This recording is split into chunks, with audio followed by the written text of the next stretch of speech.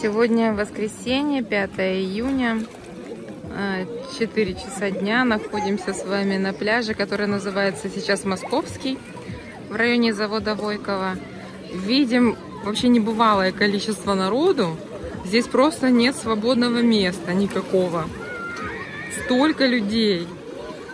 Вода прогрелась, стояли очень горячие такие дни. И весь народ выбрался купаться.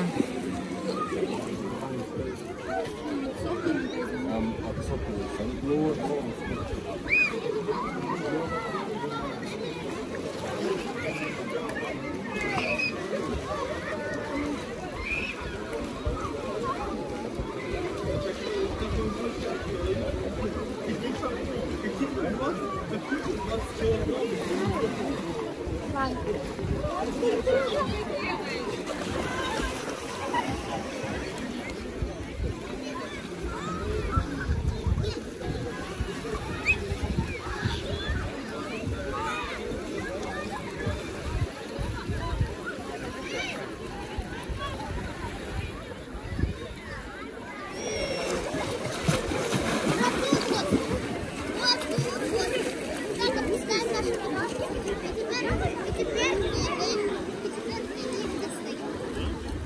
you.